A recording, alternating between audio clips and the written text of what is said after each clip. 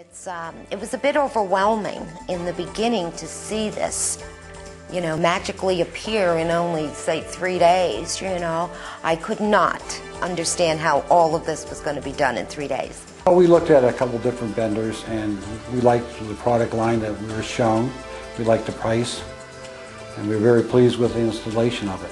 It really matched the house. When they, when they put it up, we were really amazed how well it matched. I wanted a room, a room that'll take the strength and the heat and the cold.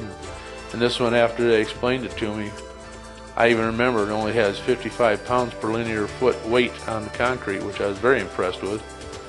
And yet, it has the strength to take like six foot of snow on the ceiling or on the roof. So that's that's very durable, very durable.